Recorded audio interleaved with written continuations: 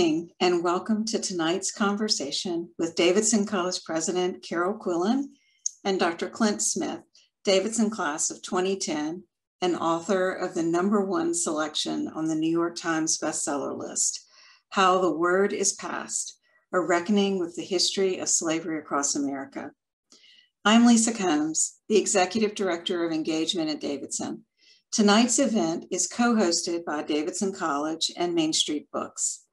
Later in the program, another fellow Wildcat, Beth Helfrich from Main Street Books, will moderate questions from the audience. First, a few housekeeping tips. For all questions or comments this evening, we will be using Zoom's chat function. If you click the chat button at the bottom center of your screen, a chat window will open and you can type in your question or comment for all panelists.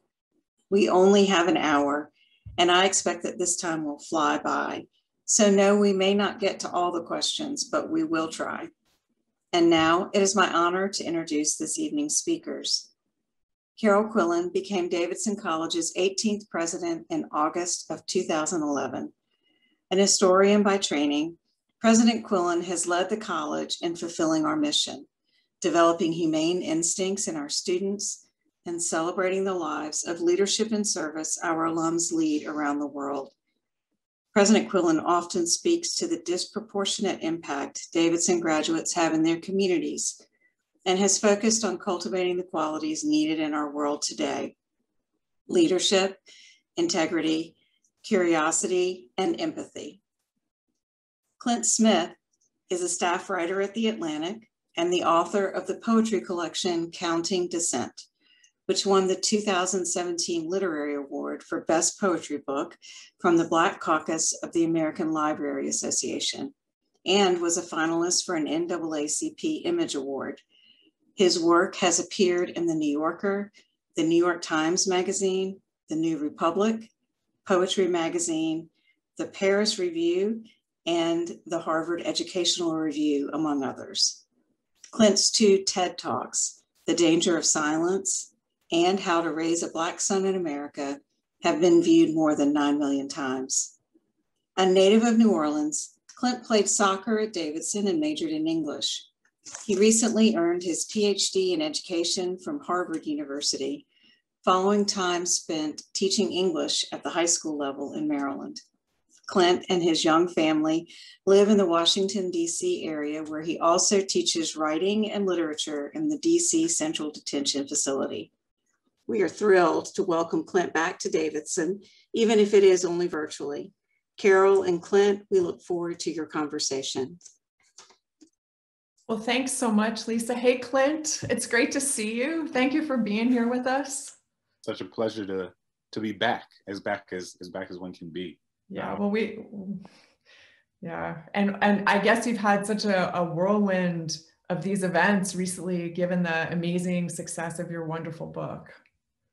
Yeah, it's it's been interesting because I've I've just been sitting in this spot for, uh, but I feel like I've been all over the country in so many ways. I, you know, one thing that a virtual tour does allow for is it allows you to be in conversation with a whole host of um, people who you might not otherwise be able to to be, and it also allows you to have people watch your events who might not be able to, whether for reasons of disability, whether they have young kids, whether you know um, whatever the reason, whether they live in a more rural area, might not be able to come to uh, an event in, um, you know, New York or DC or San Francisco or, or even Davidson. So um, I'm grateful for the way that it has opened up space. And I imagine that whatever comes after this will be some sort of hybrid where, um, you know, you have in-person events, which you can't replicate. I mean, there's nothing like being, uh, being with people in the same room, but uh, but it access wise, it has just sort of opened up the possibilities for so many, and uh, and it's been it's been great. I'm just overwhelmed by the gratitude. It's like I told you before. I think I'm people are like, "How are you feeling?" and and I'm like a, I tell them I feel like a dog who puts their head out of the window, um, yeah, of a moving car, and just like being blown in the face by by wind, and you're having a great time, and then you pull your head back in, and you realize that you're dehydrated. So it's been it's been amazing. I just I could have never imagined that it would be what it has been, um, and I'm just very grateful, very grateful. Well, we're we're excited and grateful to you for making time for for us in this tour. And I think as a way of starting, um, I know we'd love to hear you read from your work if you'd be willing to share with us in that way. Yeah, I'd be happy to. Um, so, as many folks know, uh, although this is a narrative nonfiction book, um, I came to writing as as a poet um, at Davidson College. Uh, shout out to Free Word, uh, which I founded in 2009 um, and you know we did our best sort of cosplay of, of Dead Poet Society um, when we were we'd be in the top room of, of, chambers on Sunday evenings practicing our poems, and it was such a, a hodgepodge group of, of amazing people. Um, who who just loved writing and loved literature and, and wanted to figure out what it meant to perform it out loud. Um, and I'll always be so grateful for that time and that space and uh, and for Davidson for being the sort of place um, that allowed someone who from age five to 17 thought that I was going to be a professional soccer player. Um, and then uh, had that dream uh, humbly, humbly diminished, I will say, um, but allowed me to figure out who I was outside of the soccer field, which I think is emblematic of, of Davidson and emblematic of liberal arts education. And, you know, I got to write for the school paper and join a fraternity and start a poetry group and, um, you know, all of that is is deeply tied to the fact that I get to make a living as a as a writer now, um, and and to make a, a life of ideas and words and language and history in ways that I could never imagine. But I don't mean to make this a Davidson Davidson ad, um, and I know we have limited time, so I want to um, share a poem with you all that was uh, the sort of origin story or the origin point of the book. Um, poems for me are a mechanism. They are both the creation of art, but they are also a, a way for me to think through a set of questions, a set of problems, um, a set of ideas, and to figure out where I come down on it. Um, and, and sometimes to figure out that I don't have a position on it. I think part of what I love about poetry is that it allows you to wrestle with questions without necessarily having to find an answer to those questions. So uh, I'm going to share this poem, which was I wrote when I was beginning to explore all these questions a few years ago. Uh, and when you're a poet writing nonfiction, sometimes you'll write a poem and then you'll turn the stanzas into paragraphs and the line breaks into commas and periods and you'll like slide it in to the end of one of the sections of your, your chapter as I did. Um, and then uh, just call it, call it a piece part of an essay. So um, I'll do this poem and then we'll hop into conversation.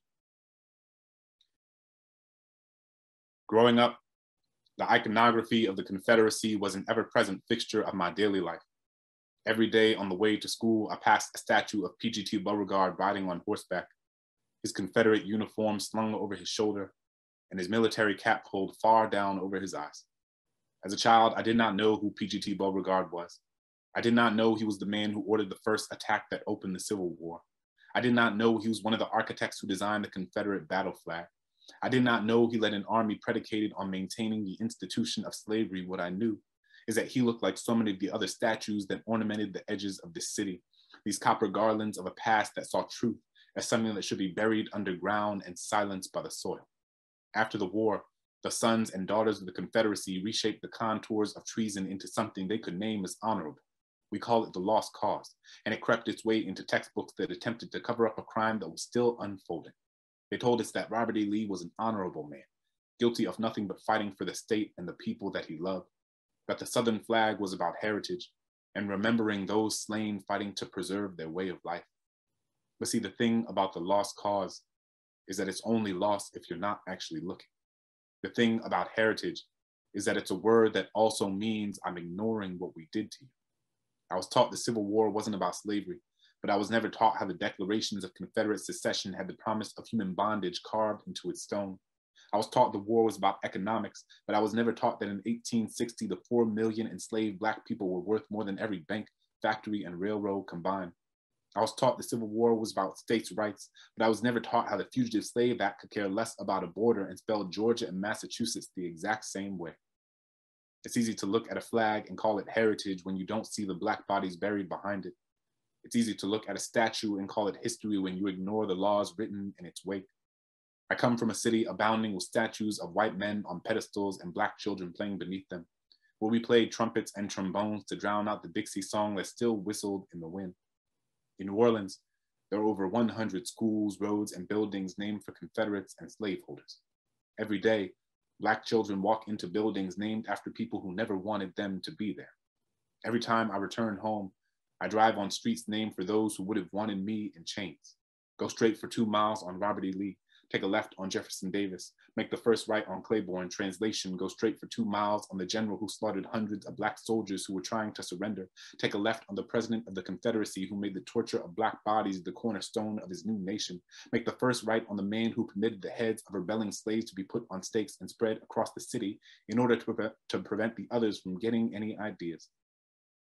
What name is there for this sort of violence? What do you call it when the road you walk on is named for those who imagined you under the noose? What do you call it when the roof over your head is named after people who would have wanted the bricks to crush you? That's that poem slash excerpt adaptation from the book. Well, it's um, you know I've heard I've heard you read that before, and it's it's an incredibly um, powerful and moving um, piece of work, I, I, think, you know, as a historian, it also makes me think about the incredible difficulty, like the massive undertaking of your book, which is um, um, the word you use is reckoning, right? What does it mean to reckon with the past? And what does it mean to think about the ways in which the past relates to the present? And I wonder if you could talk a little bit about that. You know, you, you talk in your book about how your students, when you were teaching and you saw the ways in which the past shaped the daily lives of your students and um, and you've, you've talked before about how history is difficult and talking about sexual violence and extreme violence is difficult and so important to do. And I wonder if you could just reflect a little bit on that with the word reckoning and your sort of um, any advice you have for people who are trying to present a more honest view of, of our own history. Yeah, I mean, for me, the the process of writing this book over the course of the last four years has been an effort to more fully account for uh, a history that has shaped the contemporary landscape of inequality in this country that I felt like I had a decent understanding of, but didn't fully understand. Uh, I think I've spent the last several years reading books on the story, you know, uh, exploring the historiography of slavery um, and inequality more more broadly in a, in a sort of both class, economic, and racial context, and trying to gain a, a sort of toolkit or a framework with which to more effectively make sense of why our society looks the way that it does today. I think you mentioned my teaching. I think all the time about a James Baldwin essay uh, that he wrote in 19, he published in 1964. It's based on a speech that he gave in 1963 to a group of New York City educators, and it's called Talk to Teachers. And, and in it, he says a lot of remarkable things because he's Baldwin. But one of the things that he says is that Black children have been told over and over and over again by, by this society that they are criminal. And the role of the teacher, and he's saying teacher here literally, but also as a sort of metonym for the larger society, the role of the teacher is to help that child understand that even though the world tells them that they are criminal, it is in fact the society and the history that created the conditions that that child is growing up in that is the real criminal, right? It is the history, it is the policy. And for many of us, that's intuitive, that feels very clear, that feels very obvious. But I think we can forget or underappreciate the extent to which, for many people across this country, we are given information that runs counter to that. And I think of my own childhood. I think part of why I wanted to write this book was because when I was a kid, I experienced a sort of social and emotional paralysis um, because I was inundated with these messages about how New Orleans was the murder capital of the nation and incarcerated more people per capita than China, Iran, and Russia. And the, there was a, a, culture of pathology with people who lived in the projects and in poverty. And implicit within that was a criticism, uh, not so subtle, of, of Black people in New Orleans, given that majority, uh, New Orleans was a majority Black city. And so I was being inundated with these messages about why my city looked the way that it did, why Black people in New Orleans and, as a sort of microcosm for this country lived in the conditions that we did. And feeling like I didn't have the language or the toolkit with which to push back mm-hmm. against it. Like I knew it was wrong, but I didn't know how to say it was wrong. And I think that's some of sort of the insidiousness that Baldwin alludes to, right? Where like the messages that so many young people get, not just black children, but like white children, Asian children, Latinx children, all children get certain messages about why this our society, why this country looks the way that it does. And if you are not being given the history to help you fully understand how, you know, in this context, our contemporary social, political, and economic infrastructure is shaped by slavery in profound ways. Um, and the legacy of slavery, or as the uh, scholar Saidiya Hartman says, the, the afterlife of slavery, how that shapes our contemporary landscape of inequality, then you're going to fall into the trap of thinking that the reason one community looks one way and another community looks another way is somehow simply because of the people in those communities rather than what has been done to those communities and continues to be done to those communities generation after generation after generation. Yeah.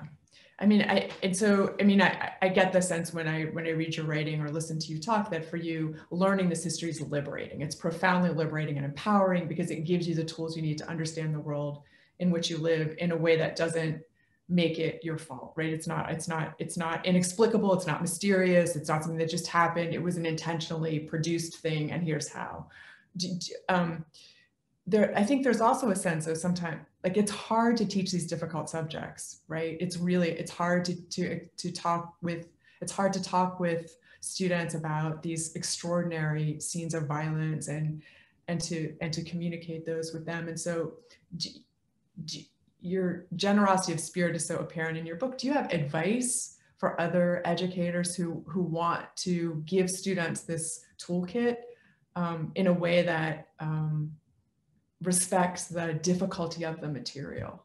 Yeah, I mean, I, I think it's important to not pretend like it's not hard stuff to talk about because it absolutely is. Um, I mean, I think the thing that I think about all the time as a sort of way to ground the conversation is just helping young people, and, and I say young people, but I think this is the case for adults as well, helping folks understand how recent this was. I mean, the way that, you know, I keep telling people the way we talk about slavery or the way that I was taught about slavery and growing up was in like elementary and middle school was as if it was in the Jurassic period, right? It was like dinosaurs and the Flintstones yeah. and slavery, like that they all existed at the yeah. same time. And and slavery existed in this country if we're going to think about 1619 as the sort of symbolic marker of the beginning of slavery in the british colonies existed in this country for 250 years and it has only not existed for around 150 and so one you have an institution that existed for 100 years longer than it hasn't. And then also you know the the example i give often is that the woman who opened the museum not the national museum of african american history and culture alongside the obama family in 2016 was the daughter of an enslaved person. Like not yeah. the granddaughter or the great granddaughter. She was the daughter yeah. of someone who was born into intergenerational chattel slavery. My grandfather's grandfather was enslaved, right? So when my four-year-old son sits on my grandfather's lap, I imagine my grandfather sitting on his grandfather's lap. And it is a further reminder of our sort of temporal proximity to this period of time. And part of what I want the book to do is give us a sense of our physical proximity to this landscape yeah. to the sort of scars that are etched in the landscape of this country um, and how it has been shaped by slavery, but also our, our temporal proximity, right? Like that there are still people alive today who knew and were raised by and in community with people who were born into bondage. They were still interviewing people who were enslaved in the late 1930s, people who lived into the, the into the 40s um, who were enslaved. And so it was i think part of one of the, one of the things that teachers can do is make sure that we sort of ground our students in understanding how re, in the scope of human history how recent this was because because yeah. going back to what we said before you can't understand that slavery was only a few generations ago and that there are people who are alive today who had my grandparents who were enslaved or parents who were enslaved and and not recognize that any notion or idea that somebody would suggest that that has nothing to do with what the contemporary landscape of inequality looks like. Like that idea would be both, you, it would clearly be both morally and intellectually disingenuous. Um, so I think first is grounding it in the proximity. And then I think the other part is telling a, like a holistic story of what slavery was and how it impacted people. One of the things I write about in the book was, is how so often I was only taught the stories of Frederick Douglass, Harriet Tubman, um, if you're lucky, uh, Harriet Jacobs, a lot of yeah. Yeah. And those stories are very important to share. They are also not reflective of the lives of most enslaved people. Like these are these are not just extraordinary enslaved people. Like these are extraordinary individuals. Like yeah. the universe does not make a lot of people like Frederick Douglass and Harriet Tubman. And so yeah. there's a reason that we are drawn to them because their lives are so compelling and remarkable. It's like, wow, they ran away. She ran away and came back and saved all these people. Wow, he ran away and like fought his slave breaker when he was a teenager and then like became this atlas speaker and writer and wrote these beautiful i mean they're so compelling but i think that I, I, remember for me i was if those are the only stories you are receiving of enslaved people yeah and the sort of adverse impact of it might be you know and in my case i remember being like well they ran away. Why didn't everybody run away? Yeah. Right? Like and then and then the mo- more insidious version of that is like well if you didn't run away then did you want to did you want to be in you know and and it's it's almost shameful to even say now but like that's how young people's minds works and even just like making sure that we so one i think providing you know the more narratives uh, of, that reflect the totality of, yeah. of enslaved people um, and, and the lives that they lived and giving a wholer a more holistic account of what resistance looked like, a more holistic account of what um, what the lives of folks look like. Because for, for the thing about slavery is that it was this is an unfathomable and just an unfathomably cruel institution. And mi- you had millions of people who were navigating it millions of different ways, who were people and who were just trying to like carve out a life for themselves and meaning for themselves and uh, identities. And that meant like falling in love and loving their children and building community and dancing together on, outside uh, by a fire on a Saturday night or skipping rocks across the creek, these reclamations of agency, of personhood that are essential in understanding and remembering that this institution that attempted to render people as chattel failed because yeah. they were always grounding themselves in, in their humanity. And so I think um, that is a big part of it is like making sure that we're telling a, holistic story of, of what slavery was and and that it was human beings you know yeah. in all the sort of small granular minute ways that we are all human um, how it impacted them and how people resisted in those small but important ways yeah yeah i mean and and, and that it you know that um, it failed for people in these small this is how it failed right? This is a demonstration to an individual how it failed. It wasn't just in running away but in these other small acts of agency as you say these these daily reclamations of one's humanity in the face of this horrific and brutal institution right? So it i think that's um i, I think that's helpful yeah and, and, even thinking about i mean just small things. Like i yeah. think about when i went to the whitney how yvonne holden one of the guides there one of the things that she said was people don't often think about how they're like, well, why didn't you run away? Why didn't this person stay? There's a lot, a lot yeah. of reasons people don't run away. I mean, one, the, the, so many of the people, the stories of people who ran away, they were living in Maryland or Virginia, like they were closer um, to the north, closer to Canada, and so in terms of physical proximity, had more opportunity. Um, but also, like a small example is if you if you run away and your enslaver threatens to do something to your family or right. someone you love, that is very clearly going to be one mechanism by which um, you prevent people from from doing it. And I think just small things like that that don't occur to people all the time. Um, that the decisions people make are are not simply about them or what they want, but it is there's a slavery impacted people as a community, and the decisions people made about how to navigate that were, were grounded in community.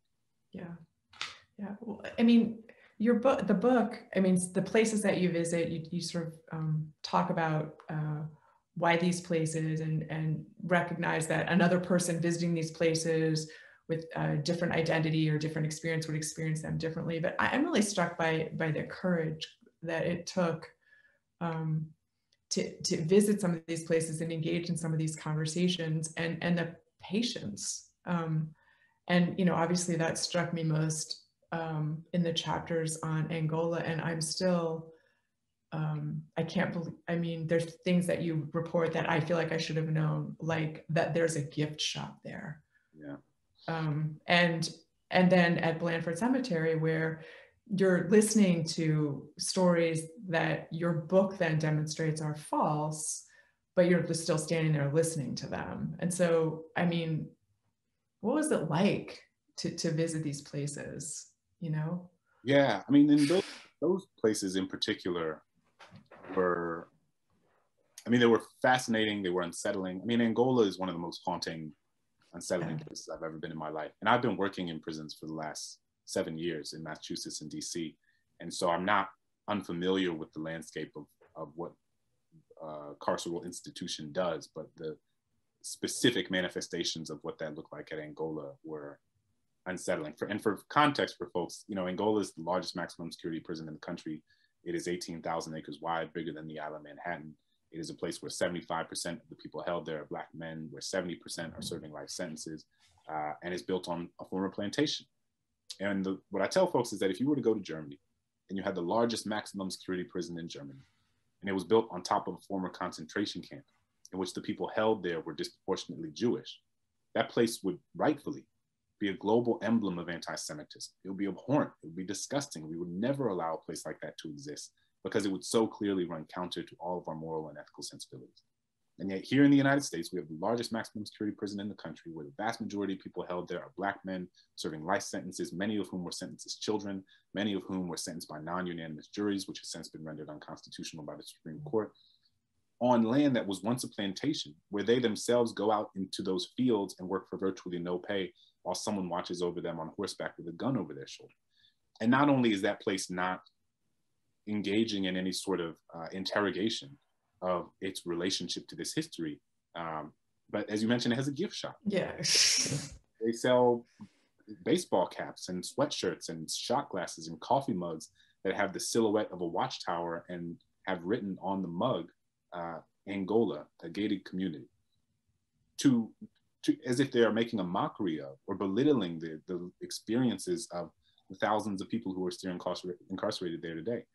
And so when I go to, I mean, in a place like Angola, I was I was really trying to understand how it understood how Angola situated itself within that history, um, and then to what extent it understood the way that the remnants of how that institution continued to operate were shaped by, uh, again, as Saidiya Hartman says, the afterlife of slavery right? Yeah. And, and, the parallels are so deeply unsettling there.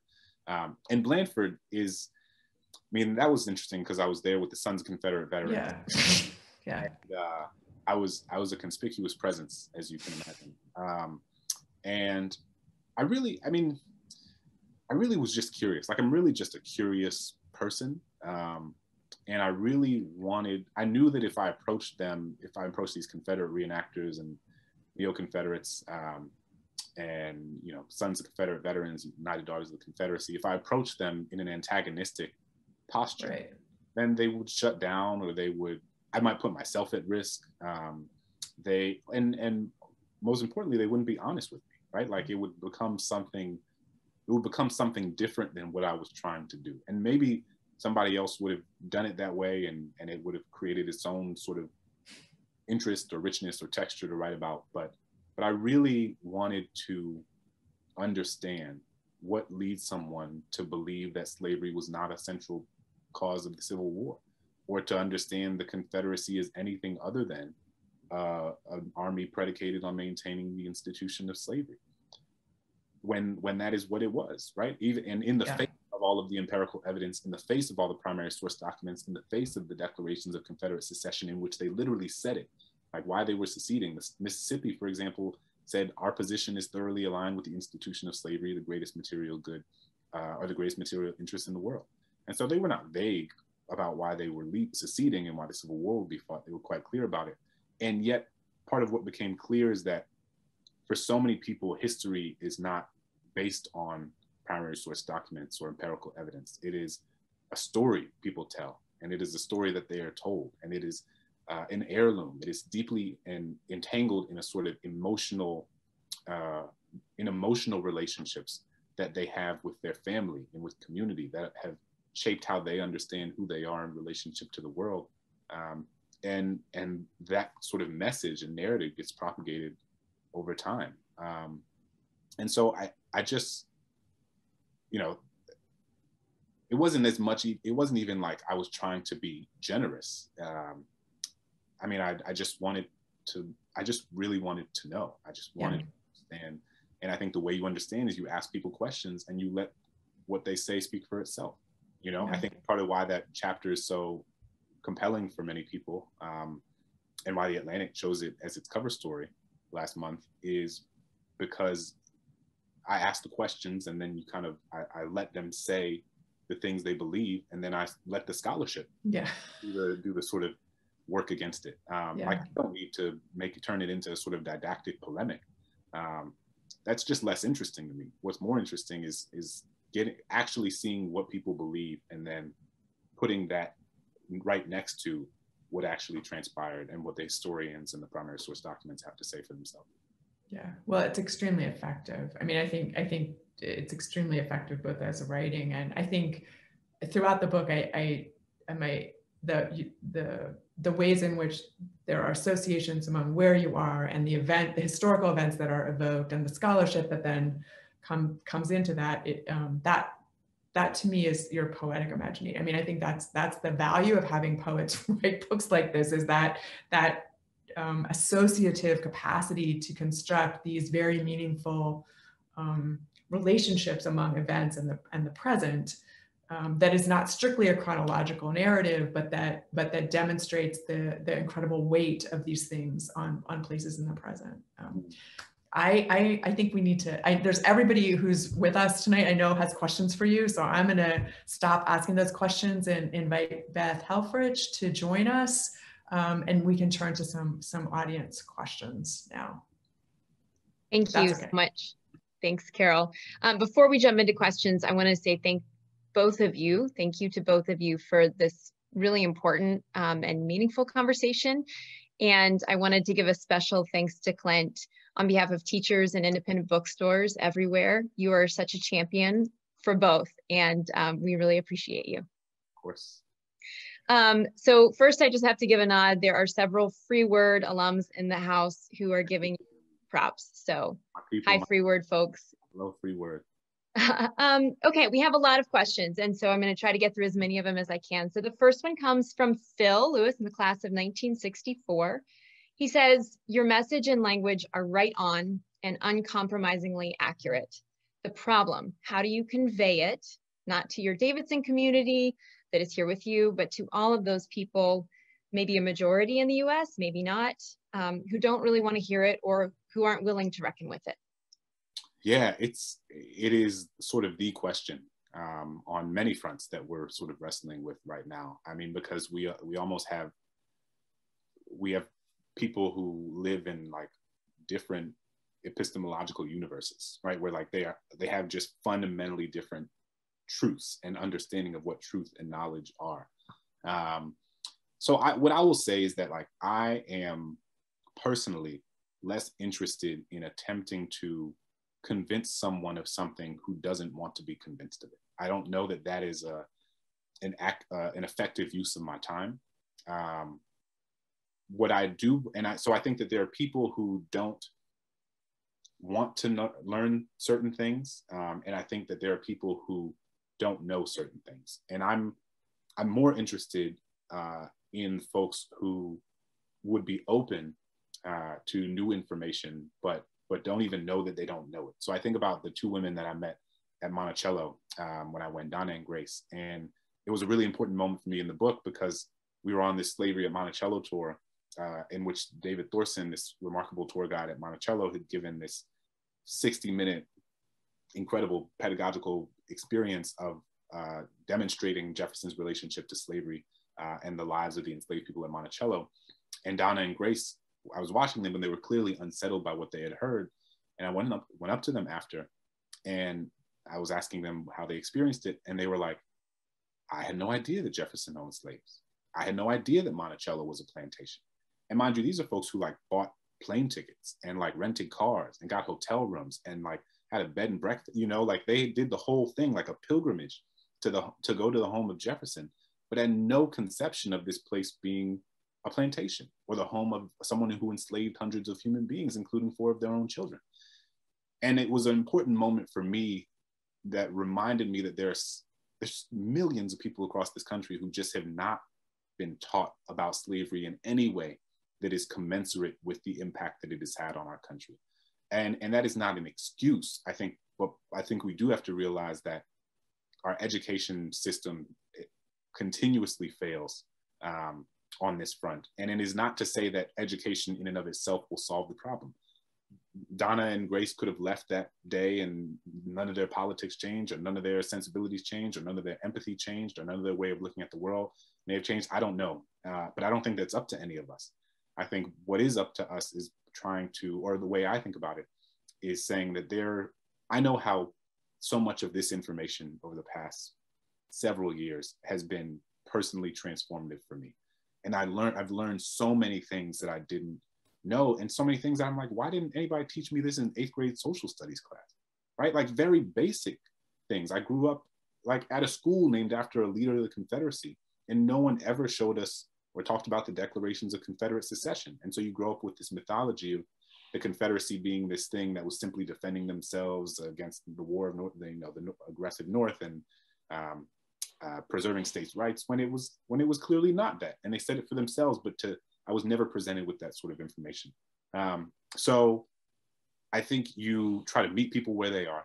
I think you extend generosity to people, but also make sure you hold them accountable, right? It's a sort of balance. You, ex- you recognize that people have work to do for themselves in order to learn things they don't know. But there have also been many things that I haven't known that people have extended grace and generosity to me um, across a range of subjects that that allowed me into uh, a new set of information and way of understanding the world that I otherwise wouldn't have had. Um, so I think it's a, a, sort of balance between extending generosity and holding people accountable. I so appreciate that. And it actually ties into a question that has come up from a lot of attendees here tonight, which is about education. Um, obviously, it's a very topical, very relevant topic right now in the news headlines. Um, so several people asked some iteration of this question, which is at the same time that your books like yours are coming out and helping so many people come, so many Americans become more aware of history or, or the or troubling the narrative, so to speak um, there's an active movement by state legislatures to prohibit that, to push back against um, any uh, use of sources or any any narrative that that is a little sticky or or or that is rooted in a truth, um, and an ugly truth. So, can you speak a little bit about what's happening right now and some of the tension that is playing out in schools right now? Yeah, I mean, it's it is a it's quite a moment for the book to to arrive in the um, totally. It's this you was like started book four years ago, and you have no idea like what sort of moment it will come into. But I, I don't know that I anticipated like state legislatures attempting to suppress people teaching the history of slavery, but maybe I should have. Um, I think that part of the insidiousness of the project of white supremacy is that it attempts to take empirical statements and turn them into ideological ones right? So it attempts to, if I say, like I said before, the Confederacy was a treasonous territory uh, that raised an army predicated on maintaining and expanding the institution of slavery. To many people, if I said that in a classroom, that would be reflective of me attempting to indoctrinate students with my political beliefs or my ideological sensibilities.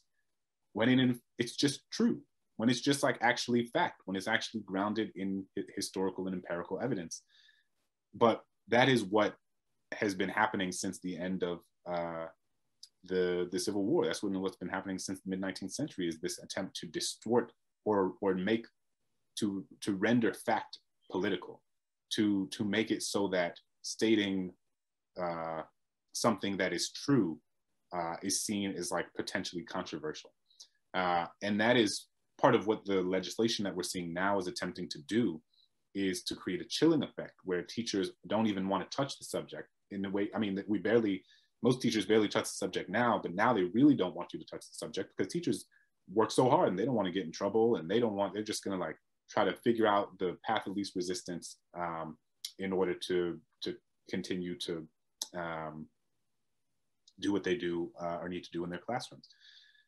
That is the intent um, of what folks are trying to do I've, I'm also heartened by the fact that part of why they are doing it now is because I think now certainly more than I've ever experienced in my lifetime, there is a more, uh, there's a wider and more sophisticated understanding of how history has shaped our current world. Um, and more people are a part of that. More people have the language and the resources and the tools. There are more books on it. There are people have more access to it. Teachers have more resources with which to teach it.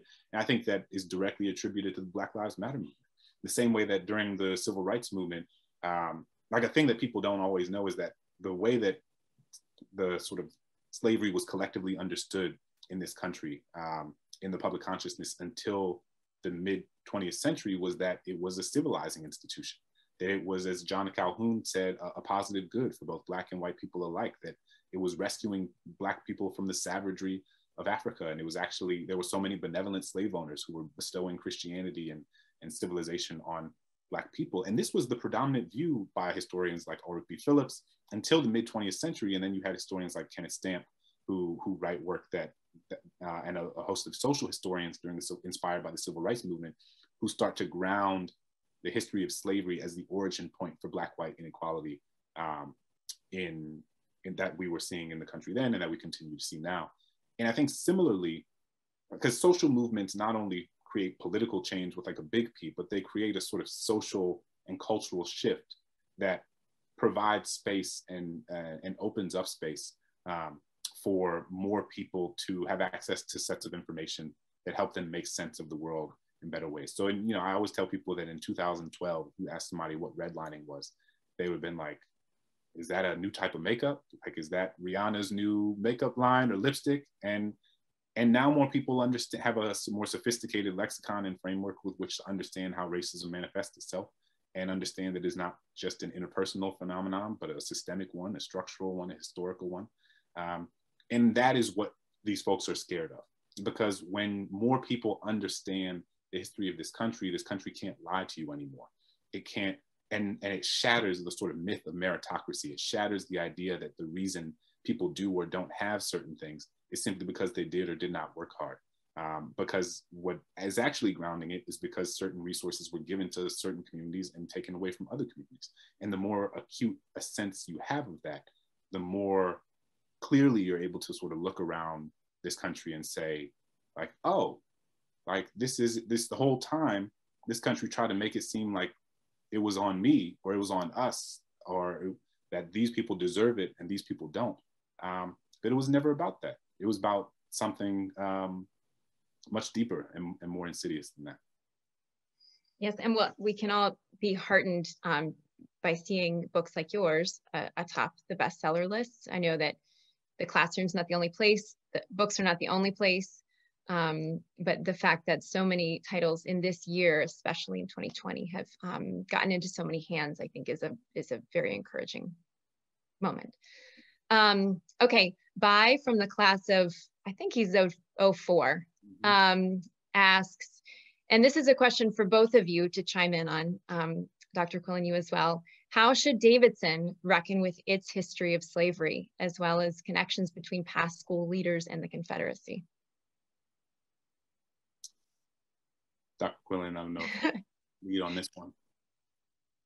Um, so I think, you know, taking some advice from Clint, I think it's really important that we be thorough and honest and that we equip ourselves and our students and our community with the tools we need um, to produce more accurate histories of, of, the, of this institution, both to acknowledge the contributions of Black people to the existence of Davidson and also to acknowledge the harm done and, and, and to be able to, to be able to speak about that um, with honesty. And so I'm huge shout out to our faculty members who are equipping students to go into the archives here and elsewhere and recover stories not told, stories that are um, hiding in the interstices of the stories we do tell, stories that are um, made invisible by the tightness of the narratives to which we are wedded.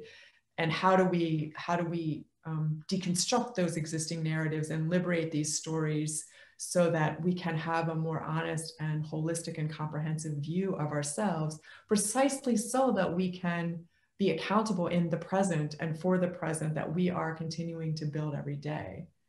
Um, I don't know if that's a complete or like a I don't know if that exactly addresses your question, but but I think I think that's a start, right? Taking taking from Clint this notion that um, we need to reckon with the past. We need to acknowledge the weight that the past has in the present, and we need to understand it if we're going to be able to see that and change it.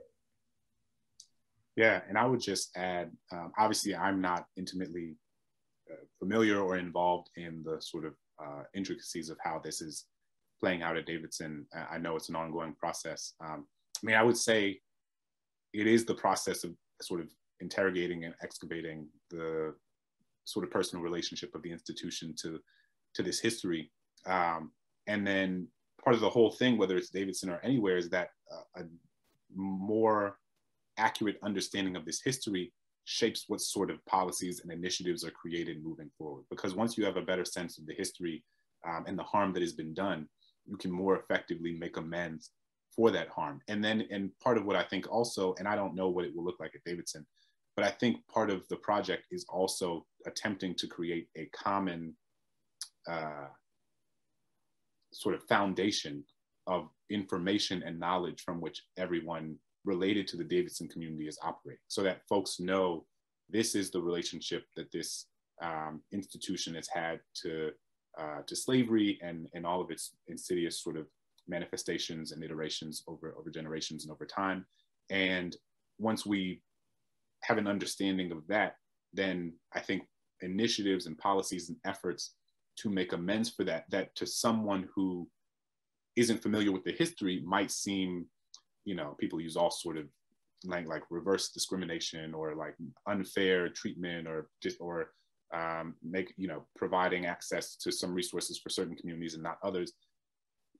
We're able to sort of push back more effectively against that because like actually what we are attempting to do is fill in gaps and repair harm that has been done not uh, provide some some group of people or some people with things that they they don't necessarily deserve. So I think that just grounding, giving people the same information with which to um, even have the discussion uh, makes makes a big difference. And and it, so it is both the the reckoning and the having of that information collectively, but also um, the material uh, resources that are like then given to different groups of people um, in order to make uh, real amends for that. Yeah, and, and I would say to, to take responsibility for constructing the present that we wish to live in. I think that's the, you know, when you don't know, when you can't, when you don't know, you you don't see how the how this how this all happened, and you can't you you're you're paralyzed in the face of it because you you can't you don't understand it. Um, so yeah that could this could be its own zoom yeah I know. Yeah. yeah. I know I, I appreciate both of you tackling that question with vulnerability and authenticity um, and thanks for fielding it um, okay i have a couple of uh, english teachery questions coming through so um, one is from ellen from the class of 1999 um, your talk is making me think so much about teaching toni morrison's beloved um, how has fiction impacted your work with history and poetry? And then the follow-up question to that is, there's someone who's in the audience, um, Angela, who says, since you're a poet, what value is there in listening to the audiobook of your um, book versus in print? So those are kind of twofold yeah. questions. Uh, I mean, one, Toni Morrison is, I mean, the, there's a reason I opened the book um, with a quote from Toni Morrison, um, who is just I mean, I saw I saw her in person at Harvard my second year, um, and and it was I think I had a moment. There's certain people when you see them alive in front of you, you're kind of like, it's amazing that you're still on the like I still share the same planet with you. You know, like like I feel that way about I felt that way about Toni Morrison. I still feel that way about um, I felt that way about John Lewis when he was alive. I was like, man, John Lewis is still like it is remarkable that I still am on earth with this person. And so, I mean, Toni is Toni Morrison is every, I mean, she's everything. She like laid the groundwork for so many, for me and all of my peers um, and friends and contemporaries. I mean, our work is only possible because of her um, in so many ways, in so many ways. So fiction, uh, literary fiction has been, uh, was a huge inspiration for this book because I, I, I wanted to take the best of the history of slavery. I wanted to take the books by Annette Gordon Reed and Daina Ramey Berry and um, Kevin Levin, David Blight, and Ira Berlin, and Leslie Harris, and Walter Johnson, and, and all of these folks who've done incredible work, whose books have been transformative for me, and to give it a sort of poetic texture, um, and to give it, to provide sensory details, like what do these places look like, feel like, smell like, what does the air taste like, who are the people responsible for telling the stories of this land, what are their backstories, what are their, like I wanted it to feel novelistic, I wanted the people that I meet to feel three dimensional. I didn't want them to feel like caricatures. I wanted the land and the scenery to feel cinematic. I wanted it to, I wanted to be a history book that read like a novel that made it feel like the person that the reader was on the journey with me. Um, and I, you know, nobody does that better than, than Miss Morrison and um, so many other writers who, who've been um, fiction writers who like really in, inspired me in, a huge way. So yeah, fiction. I mean, I probably read as much fiction during this process as I did books of history because um, that that was really important for me for it to read well.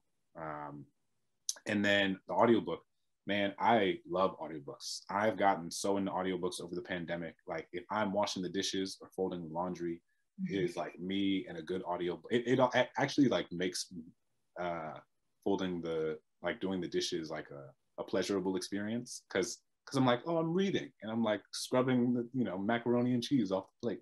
Um, and it was, I mean, especially during the pandemic when it was so hard to like focus and I was just so tired. And um, I, I love audiobooks and I wrote, I read my audiobook and it was exhausting. Um, and shout out to the, edit, the editing team um, for Hachette Audio because they made it sound real smooth um, when I was like stumbling and starting through. But uh, but yeah, I've, I've not actually listened to the whole audiobook. I listened like the first 15 minutes just to make sure I didn't sound wild.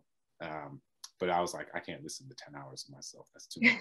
um, but I hope you buy the audiobook. Um, I, and people have said they, they enjoy it. Um, but I think, I mean, audiobooks are great. I should also say Libro FM, Libro.fm is the best place uh, to do your audiobooks. Um, I've switched, I know a lot of people use Audible. I've like canceled my Audible account and I use only Libro FM, which uh, supports independent bookstores. And you can select which independent, you can select Main Street Books and say, I want to support Main Street Books with each audiobook I buy. Um, and it's a great gift card. All I do is give people Libro FM gift cards and, and credits now. Um, so that's a long way of saying shout out to audiobooks. Uh, I hope you listen to the audiobook on your while you're doing your laundry and, and washing. I promise this is not a, a Libro FM sponsored event, but we Libro FM, yes, I appreciate that shout out. It is an indie friendly um, alternative. Um, okay, we've got time for one last question and we're staying in the wheelhouse of books. So um, Jamie from the class of 2007 says, alongside your book, you've been talking about your, um, your debut or, or publication date buddy, um, Ashley C. Ford's new book, Somebody's Daughter. And I saw today that you recently finished The Secret Lives of Church Ladies, which oh. we have huge fans here at Main Street Books. Um, are there any other books on your bookshelf behind you? I see John Green. He's another recent, um, um, recently published. Any any titles you'd recommend, and what's on your summer reading list? Ooh, um, what is on? I mean, John Green, my guy. Um, Anthropocene Reviewed. Most people know him from uh, from Crash Course and the Vlogs Brothers and uh, The Fault in Our Stars, but like this is a nonfiction debut. Just like he's such a thoughtful. I know John because he invited me to do Crash Course, um, and so I teach the Crash Course Black American History series, um, which has been so fun. And uh, this is just like a beautiful, thoughtful, meditative nonfiction debut. It's the whole conceit is that it's like reviews of random things in the world like Halley's Comet or Mario Kart or and it's just like poignant and also delightful um and he really like made it clear that he's just like I think sometimes there can be a stigma about YA writers and they can only write YA but um one, that's not true. Also, two, YA books are fantastic and everybody should read them.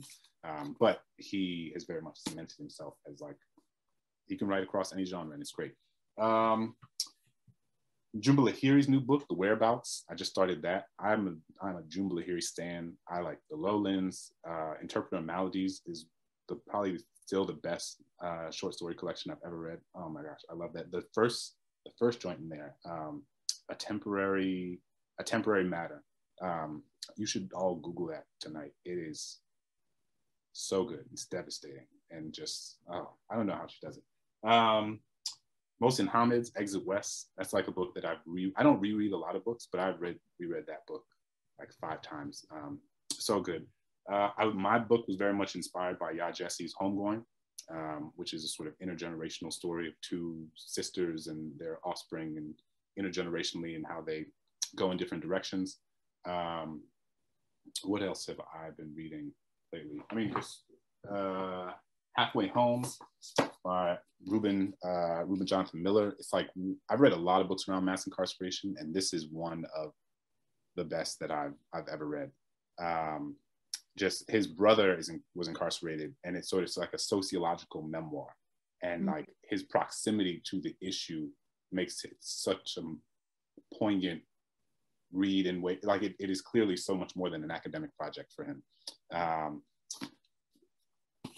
empire of pain patrick radden keefe this guy man you talk about like a master of narrative nonfiction. I read say nothing um, over the pandemic or i listened to it um, great audiobook. And and i was like how did this he's a staff if you're not familiar with patrick radden keefe he's a staff writer for the new yorker um, and just like takes troughs of archival material and legal briefs and history and uses it to create like a true crime thriller.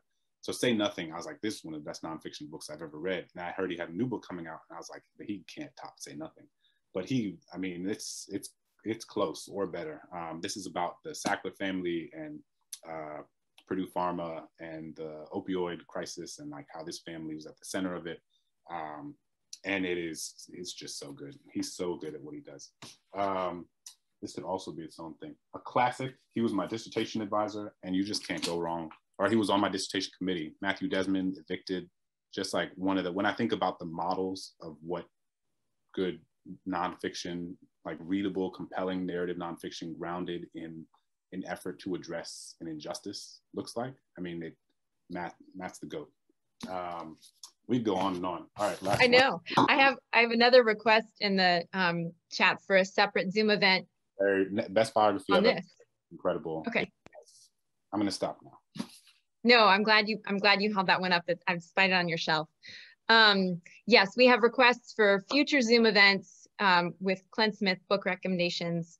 Um, I'm seeing everybody saying, can you post this list? Please post this list. We'll get those in writing to y'all. Um, we have reached nine o'clock, which means we have to let you go. And on behalf of Davidson College and Main Street Books, a huge thank you first to you, Dr. Quillen, for such a meaningful conversation, um, for your willingness to trouble the narrative yourself and for championing Wildcats everywhere, wherever we are in, in whatever field. So thank you, Carol Quillen. Thank, thank you. Thanks, Beth. And Clint, thank you so much for, for being here with us. It really means a lot. It's great to see you in this way. And um, uh, we are we're really fortunate to be on this book tour, a stop on this book tour. And what a fantastic book. I really thank you for writing it. Yes. Um, Clint Smith, gratitude, gratitude, gratitude for your time tonight, for this book. Um, a huge congratulations for its reception. Um, it's it's rightfully received, and I can really think of no one more deserving. So we are so grateful that you took the time to come back. Hopefully, it'll be in person next time. Your so. next so. the next tour. And to you, audience, thank you so much for being here, for showing up, and for your commitment to reckoning yourself. I bid you all good night. Thank you all so much.